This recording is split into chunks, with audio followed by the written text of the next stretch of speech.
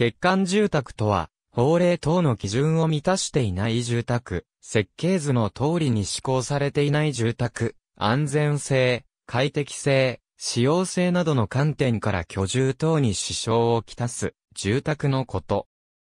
このうち、建築した当時は建築関連の法令を満たしていたが、法改正などにより現在は満たさなくなったものは、既存不適格と呼び、欠陥住宅には含めない。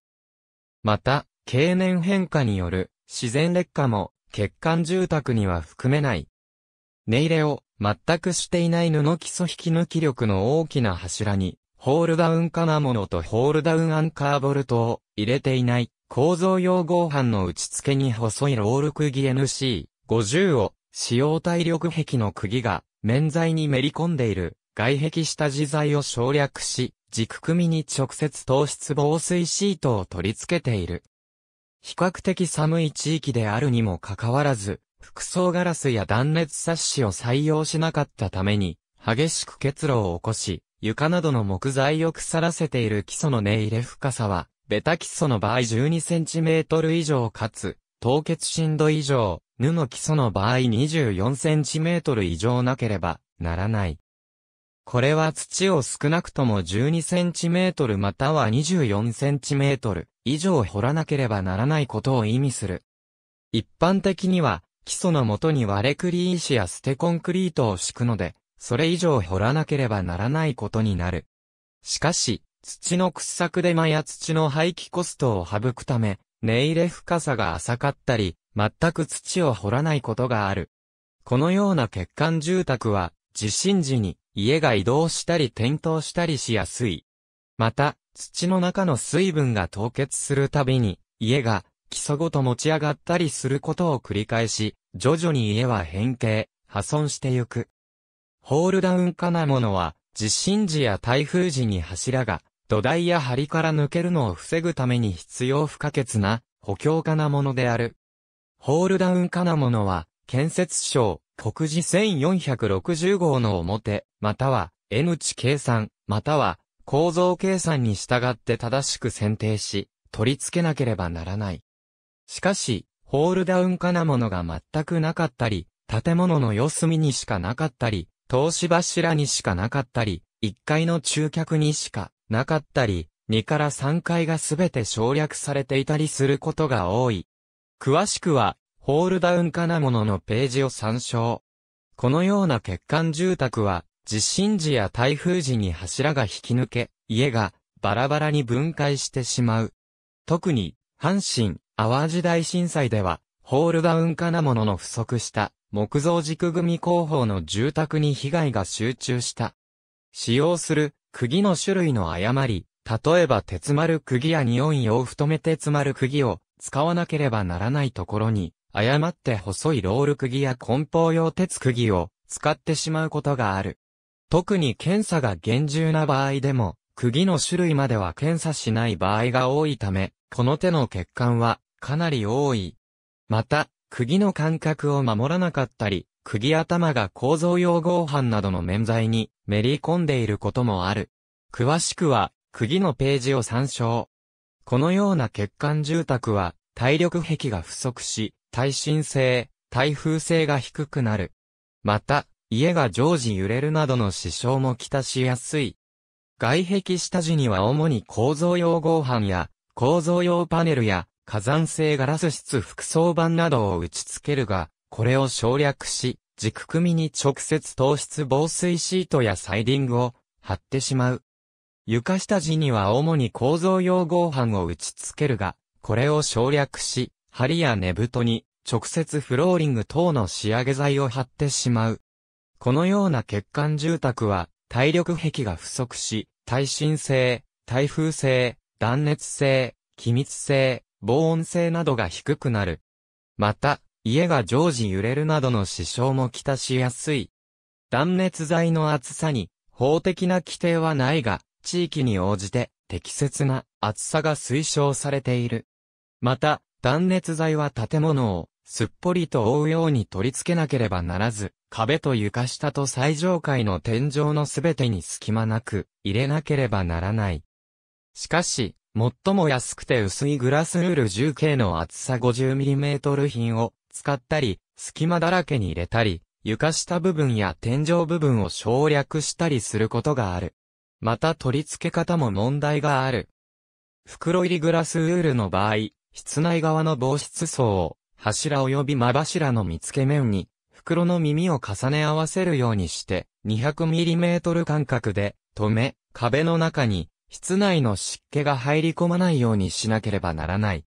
しかし、グラスウールを壁の中に押し込んでいるだけであったり、止め方が不十分であったりする。このような欠陥住宅は断熱性、気密性が低く、夏暑く冬寒い。また、冷暖房効果が悪く、光熱費がかさむばかりでなく、省エネルギー性が低く、地球環境にも厳しい。また、足元が冷えたり、トイレや浴室が極端に寒かったりするなど、高齢者の健康にも悪く、心臓発作などを起こすリスクが高くなる。さらに、断熱材が薄いと、結露も起こしやすい。取り付け方が悪い場合には、壁の中に室内の湿気が入り込み、壁内結露を起こし、木材や断熱材を腐らせる。壁の場合、防水シートは、下のシートに上のシートを被せるようにして重ねて貼ってゆかなければならない。しかし、冊子周辺の複雑な場所などでこの順序を間違えたり、防水処理が不十分だったりして、冊子周辺部から雨漏りする例が多い。屋根の場合、屋根勾配が不十分であったり、屋根形状が複雑であったりすると雨漏りが発生しやすくなる。デザインに惑わされず、使用材料に応じて、屋根勾配や屋根形状を適切に設計する必要がある。このような欠陥住宅は雨漏りの被害があるが、そうでなくても壁の中や天井裏に水が流れ、木材を腐らせる。鉄筋の数量を減らしたり、細い鉄筋に変えたりする。これは2005年頃に鉄の価格が3倍程度に急騰したことからコスト削減のために行われる。また、鉄筋の数が多すぎて、柱や梁の中に入りきれないという場合もある。後者の場合は、いわゆる設計ミスであり、柱や梁をより太く設計する必要がある。このような欠陥住宅は、耐震性が低いばかりでなく、通常時でもひび割れが多く発生したり、内部の鉄筋を早期に錆びさせたりする。いわゆるシャブコンは、現場において水増ししたコンクリートである。水増しは、コスト節約のためや、コンクリートがパイプ内に詰まるのを防ぐために行われる。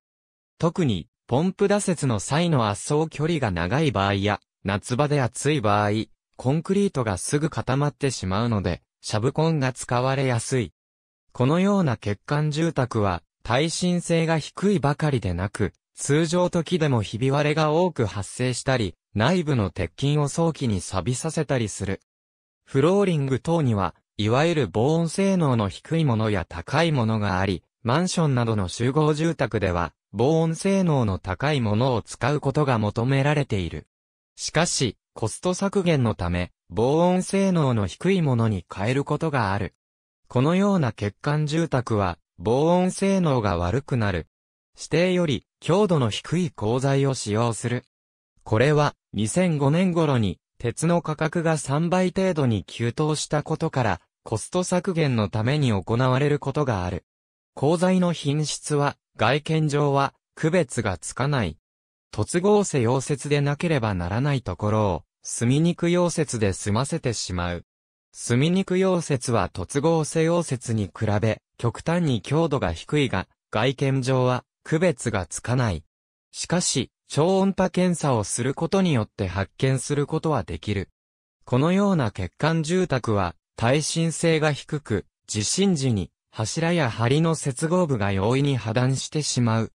一旦欠陥住宅のトラブルに巻き込まれると、明確な違法建築でない限り欠陥住宅であることを認めなかったり、裁判が長期化するなど、消費者が不利になることが多い。最悪の場合、実費での補修や建て替えを余儀なくされることがある。このため、デザイン、設備の立派さ、価格の安さなどに惑わされず、次のことを重視する必要がある。イギリスでは、多くの新築住宅に対して、非営利民間機関の全国住宅協議会、NHBC による貸し保証が行われている。NHBC の住宅保証制度を利用するためには、住宅建設販売業者であれば技術能力と経営状況、開発業者であれば経営状況について審査を受けた上で業者登録を行っている必要がある。保証対象は開発業者が登録済みの住宅建設販売業者に建設させたもので NHBC が定める設計思考基準に従って建設された住宅であり、NHBC は設計審査や現場検査を実施して登録する。NHBC の保証には履行保証と品質保証があり、完成済みの住宅を対象とする品質保証には長期保証、短期保証、建築規制保証がある。1968年に住宅金融会社協会が NHBC が保証対象としている住宅であることを、住宅購入資金の融資の条件としたため、NHBC の保証制度は普及した。1984年の建築規則改正で、地方自治体と NHBC は、競争的に建築許可を実施するようになり、地方自治体にも保険会社と提携した品質保証制度がある。フランスでは民法により建造物の構造の可視に関して建築家または建設業者に10年間の修補責任が課され、1928年にはこの責任を担保する保険が販売されるようになり、現場検査制度や建設業者の格付け制度も発達した。しかし、紛争処理の長期化による欠陥の放置が問題となり、1978年にスピネッタ法による制度改正が実施された。ABCDEFGH 住宅性能表示制度と貸保証国立国会図書館レファレンス。2018年10月3日閲覧。ありがとうございます。